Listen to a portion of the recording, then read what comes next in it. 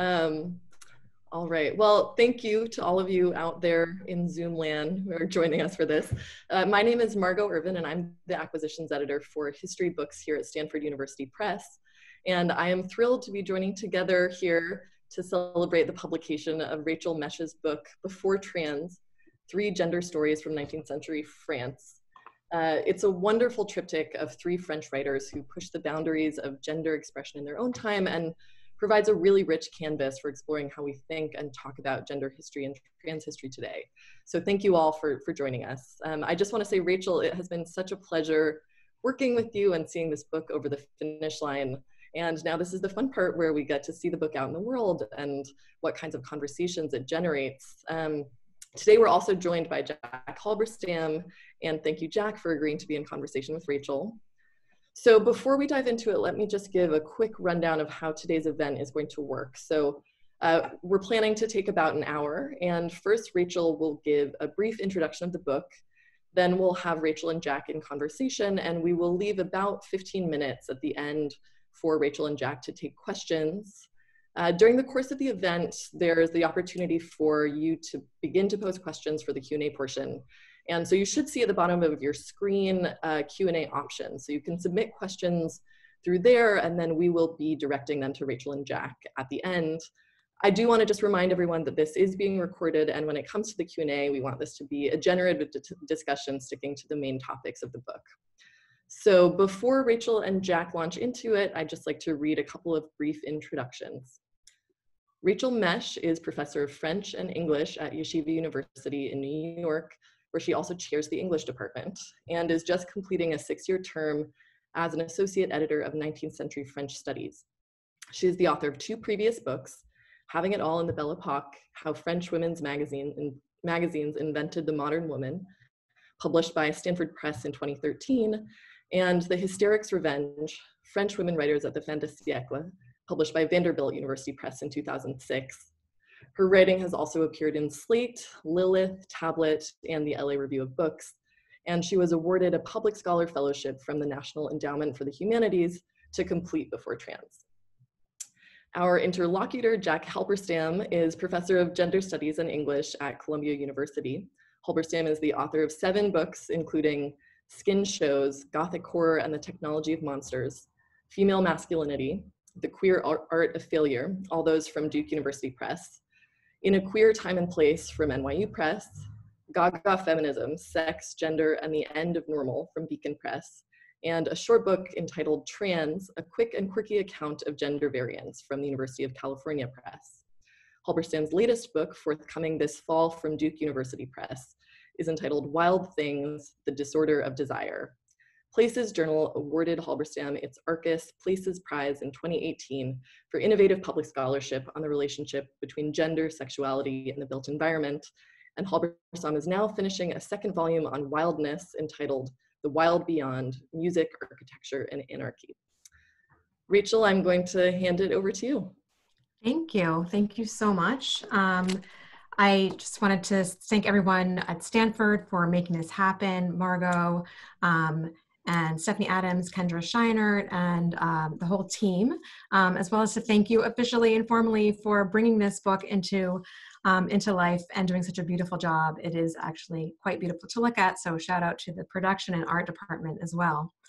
Um, and of course, I want to thank Jack for being such a willing interlocutor today. It's really an honor to get to have this conversation with you. And thank you to all of you for enduring yet another Zoom. Um, it's seven o'clock here in New York, so I just have to mention that I just heard out my window the 7 p.m.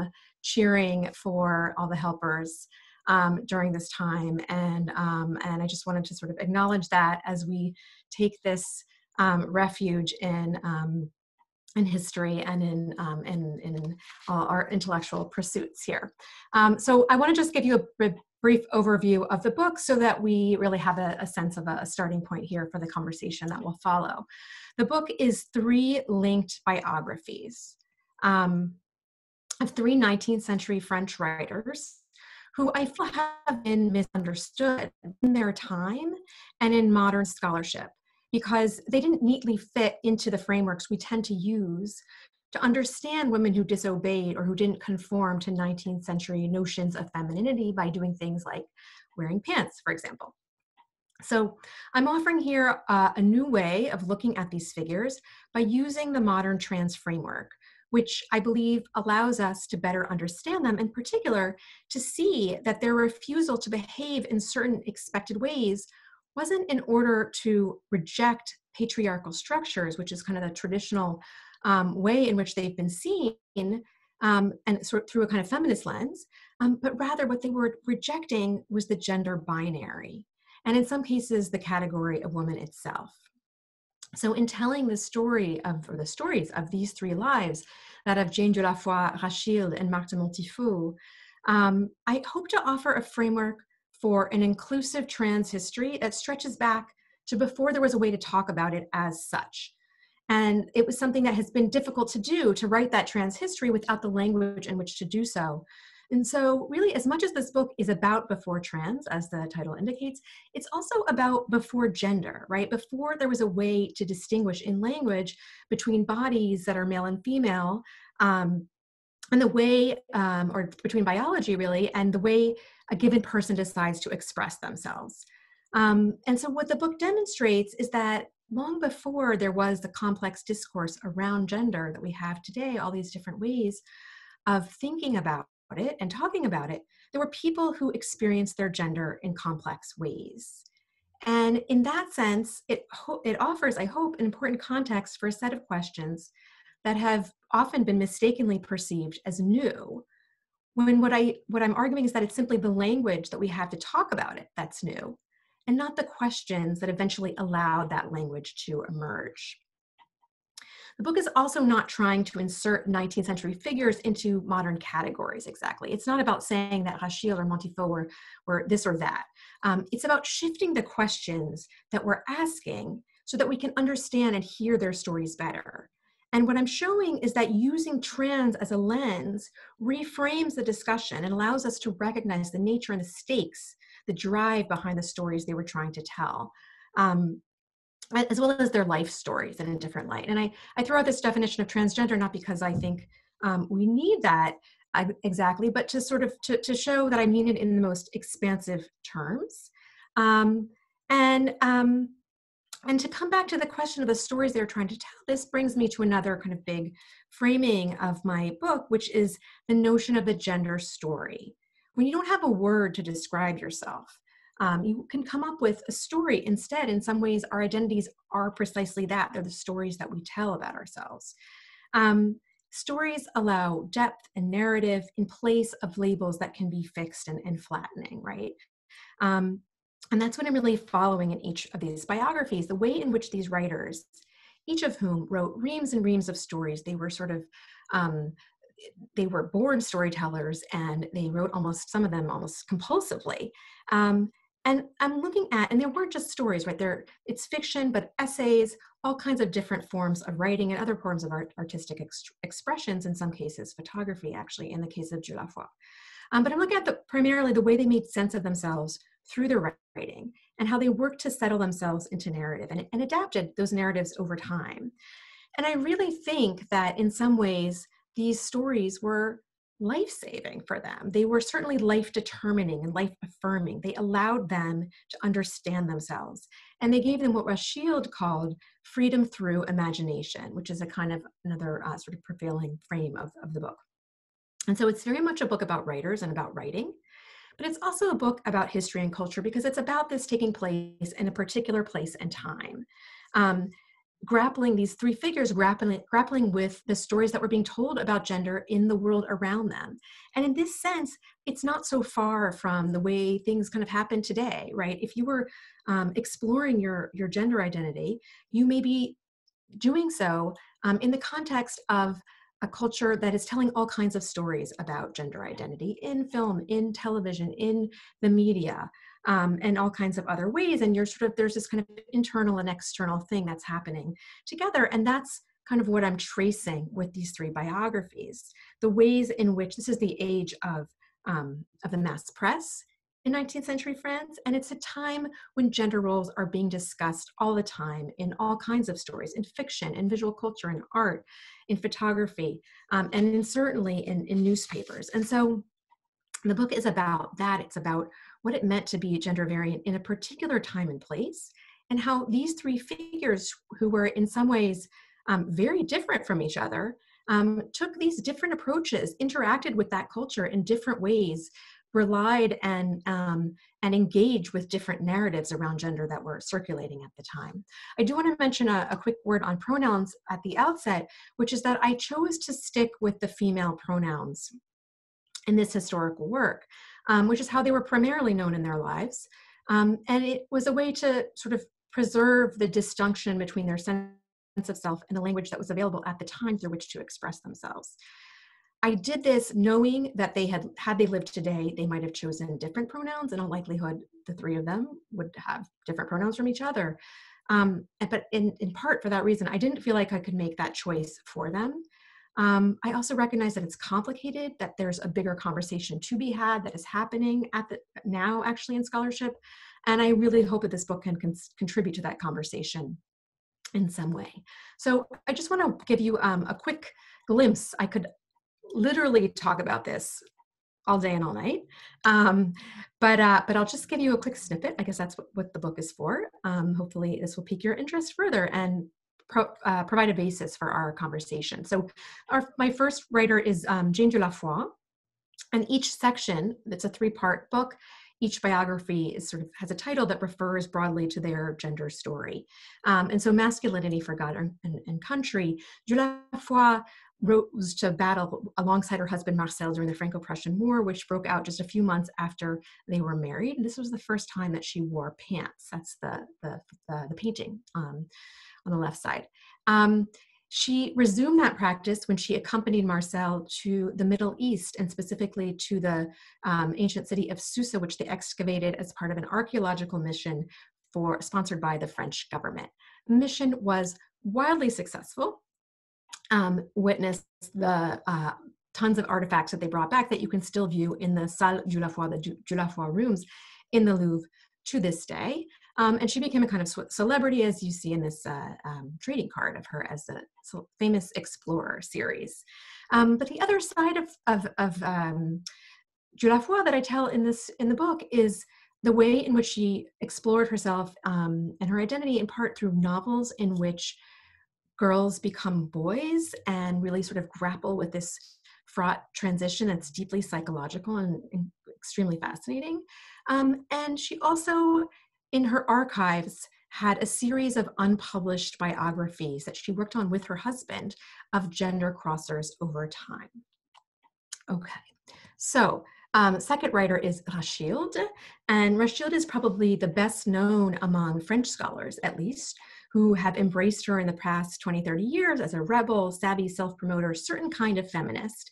She's been seen, and I have kind of struggled with this framework as well in, in previous writing, um, despite her having written a treatise called Why I'm Not a Feminist. And the answer to that question really was very simple. She didn't see herself as a woman. Um, she saw herself instead she took she she didn't she explored many different ways of seeing herself throughout her writing and she took on many different um, avatars including late in life, um, she would refer to herself as a werewolf, and she has all kinds of books that involve cats and wolves and, um, and various transformations. People often, when she said things like, I'm a werewolf, I'm not a woman, they thought she was being facetious or provocative. And what I'm arguing is that she was also actually being direct. Um, and people sort of couldn't understand what she was trying to tell them. Um, and eventually, that title, To Be Strange or Nothing at All, was her way of when she launched herself, her career truly took off with her book Monsieur Venus in the 1880s, um, which was quite controversial. And she kind of embraced the identity that it created um, to be strange or nothing at all, because it was a kind of space in which she could didn't really have to choose to be one thing or another. She could simply be Rachilde. And then the last writer is Marthe de Montifaud, who started her career as a, an art critic um, and is known in scholarship for primarily for that reason to this day. Um, but she comes into the public eye when she starts writing erotic versions of Christian histories. um, which uh, landed her with several prison sentences, which she would avoid by negotiating to stay in an asylum instead or running off to Belgium. Um, and people kept saying, well, just stop writing the stories and you'll stop getting thrown in jail. Um, but she wouldn't. She was very insistent that she couldn't just do what she wanted to do, be what she wanted to be. She continued to write her por- pornographies, no matter the consequences. And that's that I am me, je suis moi. She refused to define herself, to try to, to feel that she had to explain herself to the public. She believed deeply in the right to difference, the right to be herself. And she identified with many writers over time who were also perceived as different, including the Abbé de Choisy, which is one of the figures that Dieulafoy also wrote about. So I think that's another thread here, which is the way in which these figures look to history to try to find um, an understanding of, of themselves. And so um, just to wrap up, um, I just wanted to say that I'm incredibly grateful to be able to share their stories with you here today, however, virtually. And there's so much more um, I have to say about them. You'll just, I guess, have to buy the book um, if you're still not satisfied at the end of this conversation. It has, by the way, over 60 images, um, which was um, which looks fabulous, I think.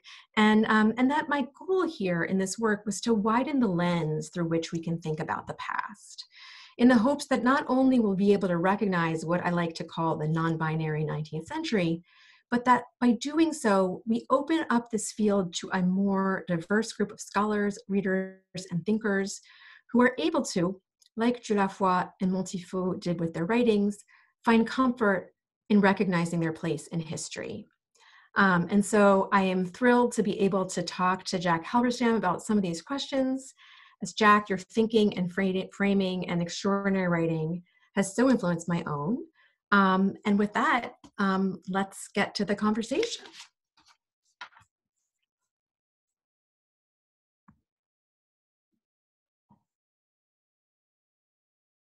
I think he needs to be unmuted. Okay, I couldn't unmute myself, uh, but no. I could. Okay, so first of all, Rachel, um, you know, thank you for this extraordinary book. It's fantastic to be in conversation. Um, you know, as soon as I read this book, I had so many questions for you. And so I'm very, very excited that we're able to uh, go over some of the details of this rich material that, as you said, it's not a discovery project. It's a project about epistemologies and classifications. Um, but also about the complexity of self styling at certain moments that we have simply cast as prior to contemporary arrangements that we understand. So there's there's lots of information in the book. There are a lot of different areas that we might touch on. I thought maybe we could just get into a conversation by my asking you about the pants permit that mm. each of these people successfully applied for except maybe maybe Rachilde didn't. Um, yeah, but so this was a this was a a, a permit that um, women who wanted to dress in men's clothing had to apply for at that time, and each person in your genealogy use it differently. And I just wanted to invite you to begin with that. Okay, sure. Yeah, um, that um, we don't have all the records of it, um, but we know that they did we have more information about Rachilde and she had to actually apply twice for it, but she did somehow manage to get it. You were supposed to have a medical reason for it. Um, but um, we don't have any records of what the medical reasons applied were. Um, and so we don't we don't have all the details. Um, but we know that um, that, and I think Dieulafoy probably acquired hers um, just by kind of having access. She was in you know she had she was in a kind of it's hard to overstate what it meant to be a successful orientalist at the end of the 19th century. So she you know whatever she wanted. She had brought back palaces from persia. She could do whatever she wanted. Um, but um, we find and there's a moment with Montifaud where you realize what this means for her which i found very poignant um, where she has an exchange through an intermediary about the pants permit, saying, Is it okay? I don't have the physical piece of paper. And this man asks on her behalf. Um, and you start to realize you know, the bold, you know, seemingly audacious Montifaud who was sort of willing to fight with anyone and say anything. This was in her archives, kind of very politely. Yes, he says you don't need to have the official paper. It's fine. You can go to this event. Mm-hmm. Um, and so um, there was definitely sort of that that legal threat in the background. And it's not like there were that many people who um, who who had this this pants permit. Um, you know, it's not it's not we're not you know in about years it's going to be obsolete because people like Colette and others are um, prancing about and breaking all the rules. Um, but this is a kind of in between time where um, it's it, it's sort of unclear legally what their their status is. And in, in sort of in terms of the historical framing this is why you often find these writers in a list together and how they kind of related to each other because they um, they sort of knew of each other as the other person who wears pants. Sometimes they'd be confused for each other actually um, in the press. And so again like you said it wasn't like i discovered that they were wearing pants and there was a pants permit. But my question was right? What does this mean? Does this somehow join them together as the same? And what you know what is it? I sort of resisted that um, because the primary framework for that was a kind of feminist like let's put all the pants wearers together. Um, and it's just one detail and they each interacted with it in in in sort of very different ways and it meant something different for them. I mean Rachilde stops wearing pants right. at a certain point. Right Right, but what it does do, and this comes back around in, you know, the work of someone like Radclyffe Hall, it shows how crucial clothing is at that time to the project of self-making. And that might be, you know, it's not like clothing isn't important now, but if you think about the fact that there isn't surgery available, there isn't sex reassignment surgery, and there isn't the whole architecture of gender and sexual definition that's available now to be used, clothing, it seems to me, takes on a really different uh, weight. And you spend quite a bit of time in the book that uh, Foy wears trousers. There's also the fact that she dresses almost identically at times to her husband, right? And so there's a kind of a, a, reframing even of the heterosexual relationship as, in this case, fraternal, rather than made up of a sort of, you know, sexual and gendered complementarity. So it, it felt to me like the, the pants permit was important because it was a sort of a gateway onto both an older system of sumptuary laws and a newer system of self-fashioning. That, absolutely. That yeah, absolutely.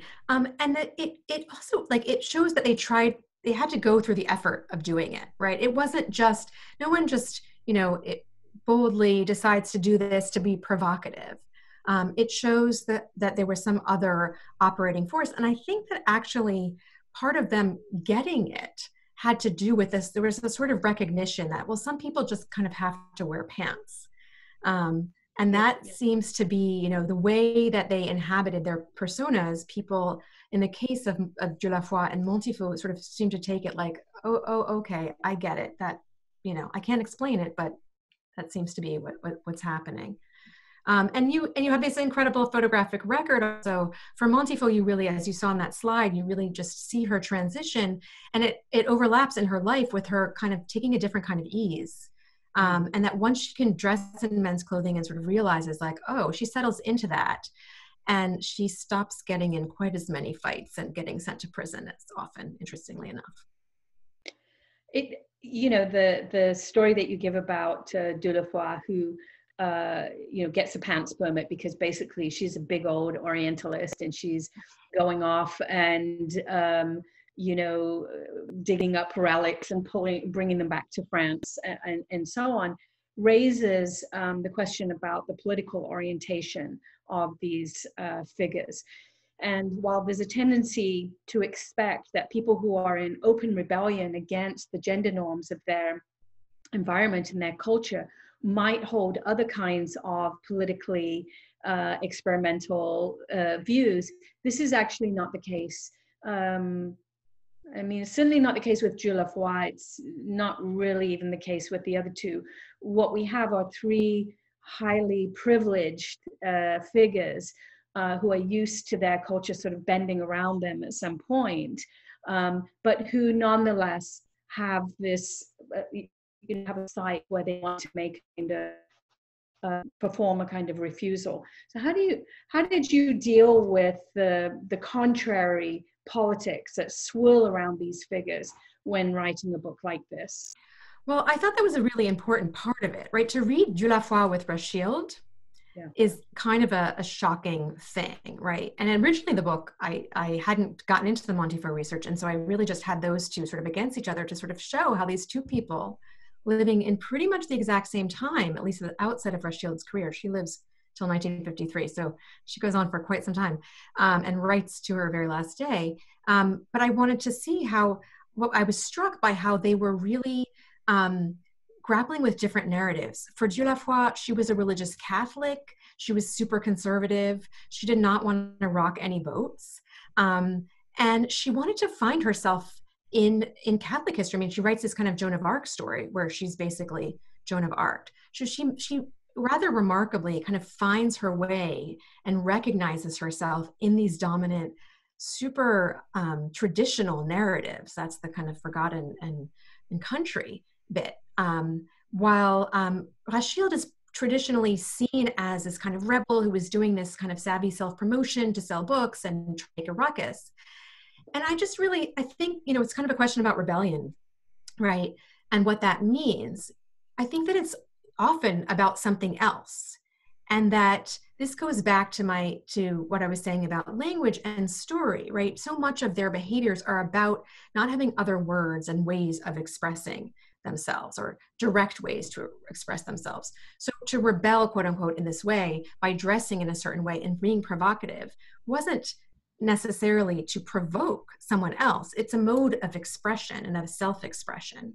Um, and you can see that in the difference between Dieulafoy sort of doing the same thing, but it's not provocative, clearly not provocative because of all these other political ways that she aligns. While Rachilde is just seen as doing it, you know, um, to be obnoxious. And she kind of keeps directly saying, you know, that this is who I am. And you see, one of the things I wanted to recover with Rachilde who has been studied, um, you know, kind of through these different modern lenses, is this vulnerability that I saw in her writing. Mm-hmm. I just saw I saw a lot of struggling. I saw a lot of pain, um, and understanding this around these questions of gender that she was working out, and this inability to be seen and to sort of find her way in language um, helps bring out that vulnerability that is mostly sort of ignored by scholarship and we sort of skip those parts of the novel because we don't really understand what to do with them. There's so many other, you know, tantalizing interludes. Um, but I think if you when you see those things together, you you realize.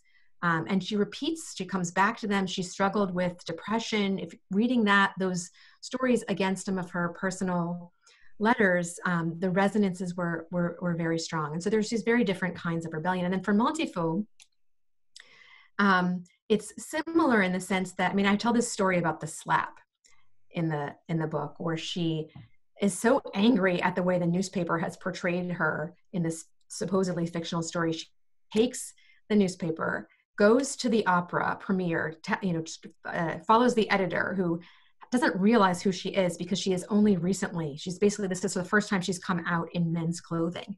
And she slaps him across the face um, with the offending newspaper, and he's completely caught unawares. And I really see that slap as a kind of coming out moment for her, right? Her anger was about this inability to um, to translate herself into words in other ways and she didn't want to she didn't want to have to she just that was the i am me can't you just take it as that? Right with you know the i am me is tricky isn't it? Because it could just be read as a sort of uh, statement of self-possession and, and the beginnings of a kind of liberal articulation of oh you know categories are not important to me i am who i am sort of thing. Um, but I, so for that reason i guess i want to i want to pull back a little bit and ask then about how the contrary gender expressions of these figures and i i really do i personally hesitate to call them women you know except mm-hmm. maybe with the case of Rachilde who did le- live at least half of her life um, in women's clothing as a woman um, and didn't sustain the orientation, the gender orientation that she seems to experiment on.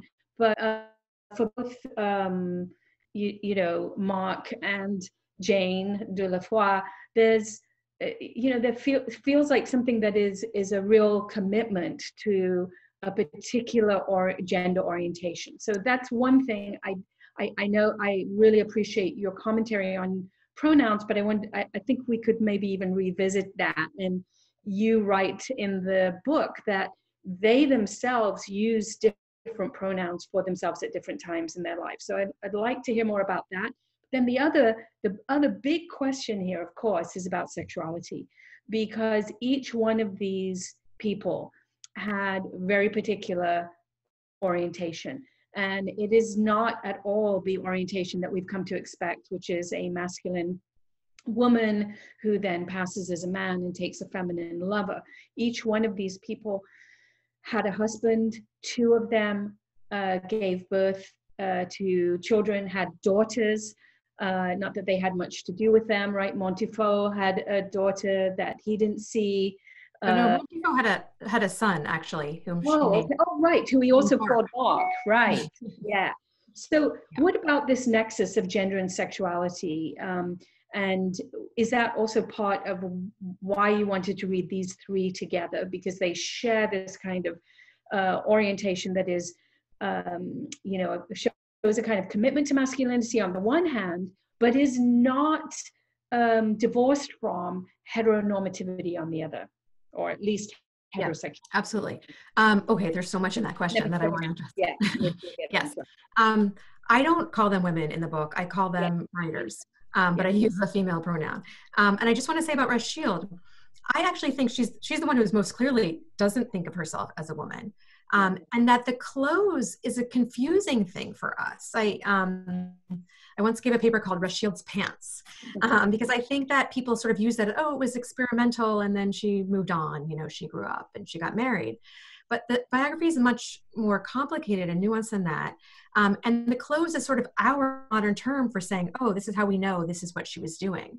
But for her, it didn't have that meaning. She didn't know that was the kind of defining fi- uh, feature of gender fluidity or however, you know, trans. Um, uh, identity. Um, and so she kind of found a style. And if you saw the images, um, which I don't want to pull up because it makes us really tiny on the screen, um, but they're in the book.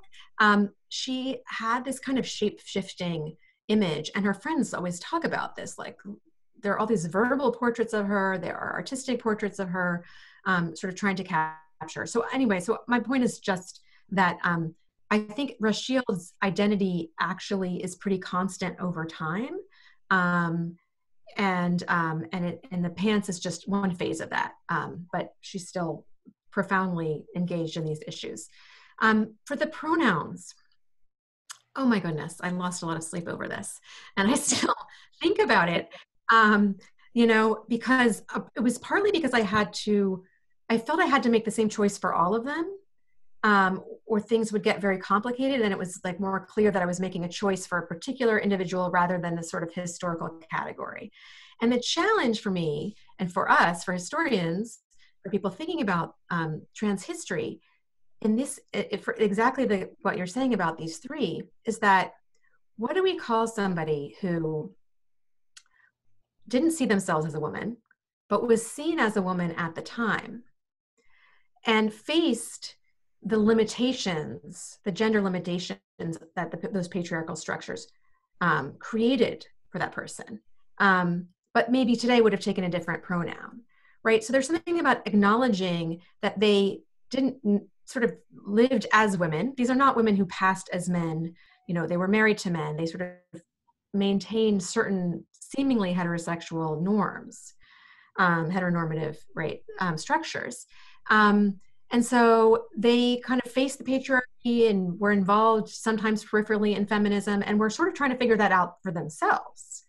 Um, and that's a separate category from some other kinds of figures that have been the subject of recent um, trans scholarship where it's more clear that they wanted to they went by male pronouns and it was sort of more consistent Um, so there's there's that issue, um, and just sort of historical piece. I mean, I think it's interesting actually how different disciplines are dealing with this now. I'm working on the margins or you know the intersection of, of multiple disciplines, um, and I think that as someone who works language, um, I'm I, am sort of extra sensitive to that, um, and and then as a historian, I also wanted to preserve the experience of that disjunction. Mm-hmm. Um, so again, I, I, I feel it's a wider conversation, and it wasn't one that was um, easy to have. It's in, in terms of the other question that you um, raise about them being married to men. I think that this was part of what was very confusing for Rachilde in particular, and also for Dieulafoy right? We have this understanding, there's a notion of inversion, 19th century idea of homosexuality was sort of sounds transish, right? It's this idea of if you're a, a, woman attracted to a woman, it means you're a man in a woman's body, and that's why you're attracted to a woman. And it preserves this kind of heterosexual model. But there's not anyone really talking about um, someone who is, I, I, you know, sees themselves as masculine and is still attracted to men. There's sort of no paradigm out there at the time. And so I think that was part of why, um, you know, I think that that's part of the struggle that they have, like literally not knowing how to how to see themselves. Montifaud um, was married, unclear how happy that relationship was or how mutual it was, um, and she seems to be have been attracted to to lots of different kinds of people. Um, but the relationship between gender and sexuality is not a clear one. And it's one that I kind of don't make any grand statements about. I'm sort of just following their exploration about of that, those questions in the biographies. And and you're not saying that, you know, that just they just lack a vocabulary and if only the vocabulary was yeah. available. I mean, that's the the opportunity to then open out onto the fact that we're looking at a very, very different uh, structure um, within which bodies make sense or don't make sense. And it's, you know, the, the epistemological frame is just wholly different. And that's why some of these questions can't simply be dragged backwards from the 20th century and applied willy-nilly across uh, these kinds of scenes. So, which is something that I appreciate, but I also appreciate the way that in their writings, you show, you know, in whether it's the novels of uh, Dieulafoy or um, the writings, uh, the the you know very very uh, often seen as pornographic writings of Rachilde, they're looking for different kinds of languages to express a difference which occupies a different space in that society. And I feel like the, the book is very successful at holding on to both an explanatory frame on the one hand, but also maintaining a level of complexity that doesn't allow this to just slip into these people simply were waiting for the categories to come into focus so they could enter into them. Um, and of course, they were not the only figures at that time. And you do mention, for example, Colette's lover, um, Missy, uh, Mathilde Massy, is that her? Was that um, I knew her as the Marquise de Belbeuf, and she was ah, right called uh, Missy. Yeah.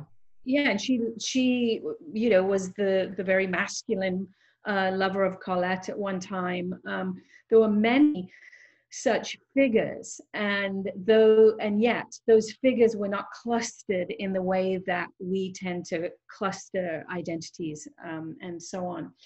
Um, so I, I guess moving on from there because i'm sure there'll be lots of questions for you about this later we can come back to it. Um, in the little bit of time that we have left before we go to some of these q&a um, opportunities the i wanted to ask you two things one about the image base because you you're a really great um, reader of images. You you know on the one hand you do give us the plots of these crazy novels but on the other hand you spend a lot of time thinking about the way in which these figures pose themselves in the image and the thinking about the images together and um, and as you say there are over 65 images in the book so I wanted to, one, know about the image, and then that opens on to my final question, which is about the research process. And you tell, uh, uh you know, at the end, you tell this this uh, beautiful story about um, visiting Jane Dieulafoy's house at the end of your research and about the kind of cover story that you often had to give when you were dealing with librarians and um, uh, archivists. If you had just said you were looking into their sexual and gender practices, you need information from the archives. So one, the image base, two, you know, how do you find all these images? And um, tell us a little bit about your process of working with the images. And then to the research in general and the kind of cover story that you yourself had to produce in order to get access to the materials you needed. Um, yes. Oh again so many so many possible directions there. Um, um, so um, I, I, I, guess I, I started working with images a lot in my previous book um, which also had uh, a ton of images in it. And um, and I mean, there these three have pretty incredible archives. So, um, so most of those images were there um, in the archives. I think that what the difference is that people haven't been interested in the images or haven't looked to them mm. um, for the layers of meaning, and that's something that I've gotten from my art historian colleagues. Um, and really had a lot of fun with in my previous work, just kind of unpacking the images. You know, I did semiotics at Yale in the 90s, so I learned that everything is a text and kind of all comes together um, here. Um, and um, and in particular, the images of, of Rachilde kind of surprised me because I didn't real they didn't they didn't conform to my you know pre-existing notions of what sort of trans should look like in the 19th century in ways that Montifaud and, and Dieulafoy kind of strikingly do. Um, but when I started looking at the multiple overlapping, similar, shape-shifting images of her, I was really um, kind of pleasantly surprised towards the end of the research about how much there was to say there, how um, how interesting that the the impulse to capture her, um, what she looked like, even though there's there are very few photographs, um, and so um, you know that it, it is really helpful having that photographic record. And Dieulafoy was a photographer. Yeah. She was the one who took photographs during their mission um, to Persia. And her, you know, I, I, have fantasies about the the Netflix version of her life story. Um, but um, uh, and so um, she clearly, like in some of them, and you could see this in the Montifaud pictures too, they took pleasure in being photographed. And that's something I think that um, can sort of understand that desire to be seen, literally and there was a way in which the photograph could kind of capture that um, in ways that we have sort of the more the tools to to appreciate um, in terms of the the cover stories uh, I felt sort of self-conscious about that. I mean, Marcel Dieulafoy was a member of the Académie Française. For, for the non-French scholars among us, that is the most conservative institution Jane's possible. Husband, that is. What? Jane's, Jane's husband, Marcel. Jane's husband, Marcel. Yeah. Um, and so her archives are there in the library that's connected to the Académie Française. And I managed to get permission when you're elected to the Académie Française, you become an immortal. And to go to the library, you need permission from a from an immortal, which you can do by writing to someone. And so I managed to get permission by saying I was writing on, and I thought actually I was writing on French women writers, um, actually at the beginning of this project. Um, and that's another point that I would make is that you know people say, well, how did you choose these three, it's not that I chose them. I started working on Dieulafoy, who had appeared in my book on French women's magazines, um, which were these hyper feminized publications. And then there was Dieulafoy in her suits. And so I sort of like, I don't know what to do with that, but I'm going to come back to that, you know, later on. And that's sort of how I went down this path. And I was really just listening to the stories that um, that she was telling. I wasn't I didn't have the idea of, oh, let me write a book about trans in the 19th century. Um, n- far from it. Um, and so, um, so yeah, so I had, I kind of, I mean, even when I was applying for permission, I'm a little bit nervous when I send the libraries. You have to agree to send them a copy of the book at the end. Once you've acquired the permission to use these photos, that they're going to say, "Wait, was this was the title? Did she? Uh, what happened here?" But by then, it'll be too late. Um, and I felt sort of self-conscious about that, um, you know, and and sort of guilty that I could I could do that or that I was I was couching it in that way. Um, in order to to get to these materials but it was it was kind of subversive to go into the the archives of the académie française bibliothèque de l'institut um, you know in the cupula and secretly be looking at these dossiers of of, of Jane Dieulafoy um, mm. people had no idea what i was up to all right i think uh, probably we should stop for the q&a um, i just want to note that uh, I hope somebody asked about feminism because that's an important part of this. If you want to moderate, I think Margot may need to be unmuted by whoever's running it. Okay, uh, thank you. Thanks for this great discussion so far. Um, and we do actually have one question around first. Um, and this question is from Elazar Kraus. To what extent would these women relate to the idea of feminism? Specifically, what did Rachilde mean when she wrote, I am not a feminist? Um, great. Um, that question is from a student of mine, so I'm very happy to answer. Um, um, yeah, so the feminist question, and as Jack uh, noted in a previous conversation with me, it seems to kind of haunt all three of these figures. And when when when Rachilde says that, she's really irritated. People start asking her as soon as feminism. So feminism becomes a thing. The word feminism comes from France in the 18 late 1880s, I believe, um, and it doesn't quite mean what we think of it today. It's associated with um, with eventually with suffrage, with kind of welfare reform, certain rights and, and laws it's not associated with um, you know the personal political or any of those kinds of things. But it is a burgeoning movement in france. Um, and it is one that none of these writers particularly wanted to be associated with, but that they were often grouped into. And so Rachilde in particular is irritated by this. I, there's a letter in her archives where she's basically saying, "Why are you asking me to write about this? Why? Why? Why? You know? Why do you think I care about this?"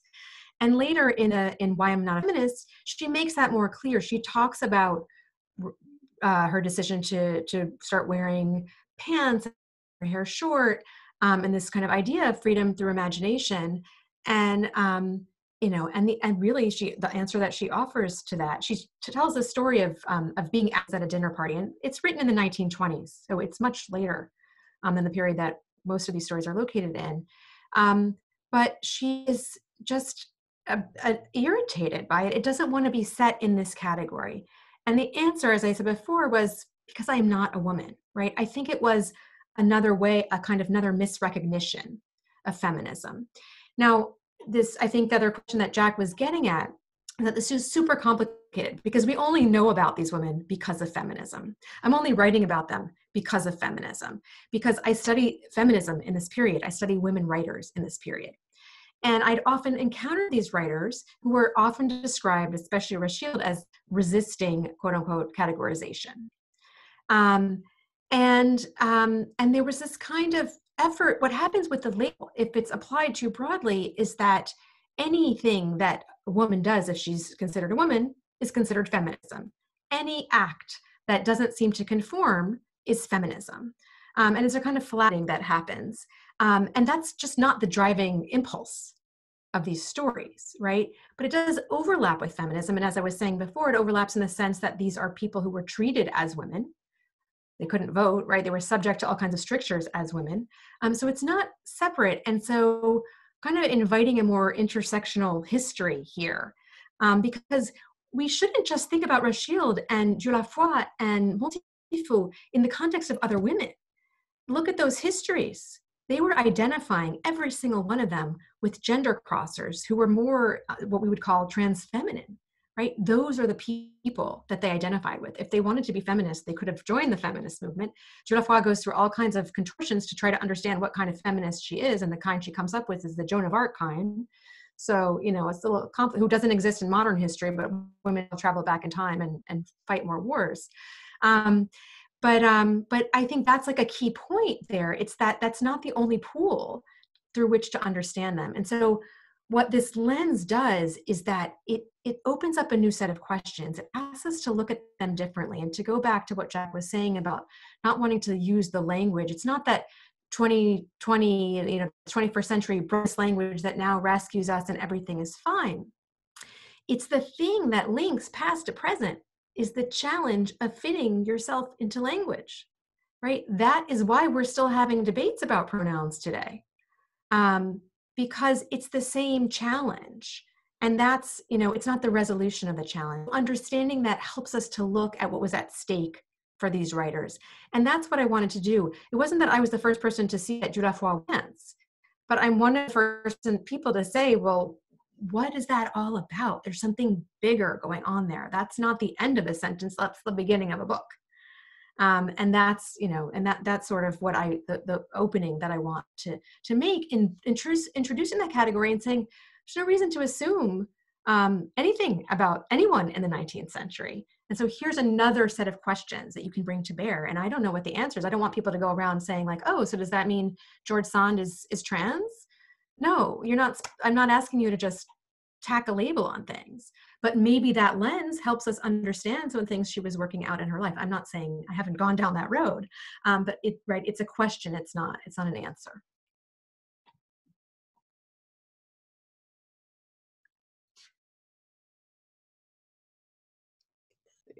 Oops, I'm the only one who's allowed to talk, apparently. we have to unmute whoever is doing that. Yes, okay. okay. Um, so we have a lot of great questions here and we'll get through as many as we can. Um, so I'm actually gonna group these next two questions together. Uh, one from Joshua Trannon uh, saying, I would be interested to hear Dr. Mesch's thoughts on the relationship between Foix and imperial masculinity. And we have another question from Colin Foss asking, I'm wondering how Dieulafoy navigated not just French culture, but also Middle Eastern cultures. How did going to what she called the Orient change or not change her gender story? Um, okay, great. Um, those were uh, the, the Orientalism thread. I actually have an article coming out in an issue of Yale French Studies on photography and the body that's forthcoming next year, kind of deals with this question um, more specifically of the Orientalism and the photography in Judah And her photographic archive is incredible, by the way. Um, she keeps a travelogue when she's in Persia. And this is how she sort of discovers that she's a writer. And it's published in the Tour du Monde travel journal. And that's right. You couldn't like go on the internet and, and see foreign places. This is the this is the way that people experience the world um, in the 19th century. And um, and what I found precisely by doing this, right, by taking this framework um, and opening up to this thousand page travelogue that is kind of tedious and hard to get through um, I realized that there was this thing that was going on in between the lines, which was her the unfolding of her gender story, um, not explicitly, but in her sort of engagement with Persian gender roles um, and how to see herself and how she wanted to be seen as a kind of hero on this journey. Um, and so the the travel experience was fundamental. It was this kind of gender departure, right? She literally had to go thousands of miles away, kind of have the freedom to be a, a, a French man in a sense. Um, and she managed to do it by, she kind of convinced people, well, I can't very well go around in a veil, and that's what, you know, Persian women have to do. So I guess you're going to have to let me just wear pants and, and don't let anyone know that I'm a woman. Um, and it was, it was a really important moment in her, in her story. It was the turning point really in her story. She returns to this practice she had taken up in the Franco-Prussian War, which was a really edifying experience. And she kind of decides that she's a hero. Um, she wants, she fully embraces um, the discourse of Orientalism, the discourse of mastery and control. And by fully identifying with that, she becomes a kind of French man. Um, it kind of allows her to experience that. And when she returns, that is how she's perceived um, unproblematically, you know, sort of fully supporting the patriarchy through that. And so, um, you know, people sort of look at her travelogues and try to see what's going on with the women and assuming that she's in the harem and doing interesting things. But actually, she's trying to mimic the discourse of imperial masculinity. She's sort of taking that on um, as a way of being and then and, and that in the end kind of gives her permission to be herself because she does it so successfully successfully sort of takes up these cliches in such a successful way um, that um, that she returns a hero and no one was going to argue with that in the end And then she's always sort of um, using that as her reasoning when people say, well, why does Madame Dieulafoy wear pants after all? This is very strange. Um, well, Persia and Franco-Prussian War, you know, no matter that she was in the beautifully tailored suits at the time. Um, and she would always apparently be telling stories about Persia and in these fancy dinner parties and that as a sort of reminder of, you know, this is this is why, this is why this is happening. Remember who I am. Margot, can I do a question in the Q&A from uh, Tamara Chaplin? Um, the the one about the Sapphic cabarets. Can you see that one? Uh, I don't know that I can, but if you can, go so, go for it. It's, it's a really it, it, opens onto a really good question. Uh, maybe you know uh, Tamara. I'm not sure. Uh, Rachel. No. She's a French historian at the University of Illinois Urbana-Champaign, and she says we know that uh, Rachilde frequented the Sapphic cabarets that were extant in Paris during the 30s and 40s cabarets run by women like Sidonie Baba and Suzy Solidor. So to push a bit harder, Rachel, on your portrayal of these women as living within a heteronormative frame, to what extent did these people's performances of gender and sexuality change over the course of their lives? Did these changes then reflect historical changes and the emergence of queer worlds? I feel like that's really yeah, great question. Um, yes, and that is also what I wanted to account for in the biographies, that these are shifting narratives. Some of them become more stable, as in the case of la and some, um, with Rachilde, who, as I mentioned, writes and writes until the very end, she kind of try, she, she kind of explores every kind of um, modern queer trans identity. It's kind of remarkable.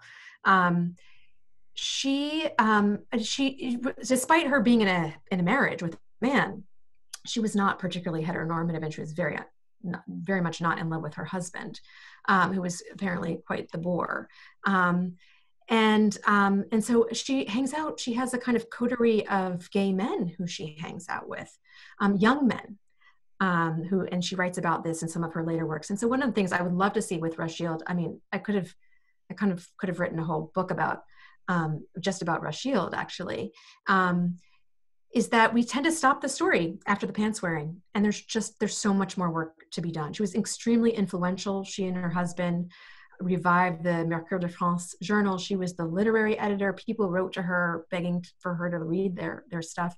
So as a just as a writer she was incredibly influential. And um and yes the um she is kind of she's kind of everywhere um in you know in the in the, in the 20th century up until the very end. Um, and so, yeah, the questioner is absolutely right to, to, to bring that up. It's an ongoing, I can't, you know, I don't sort of tell the full story, but I give some glimpses into that up until the werewolf days of later on. But I think that was part of the werewolf, the sapphic um, werewolf persona could perhaps um, overlap. And she, she identified with people who were different, right? Who didn't sort of fit in, whether that was lesbians, um, gay men, other kinds gender bending. Hmm? Werewolves. Werewolves, exactly. And that's what I mean by she just sort of tried out these different av- avatars um, throughout. And there's just, there's so much more to be explored there. I mean, she wrote like, I don't know, 90 novels or nine, not, not, they weren't all novels, but she wrote, she published basically every time, right? Rachel, she lived 93 years.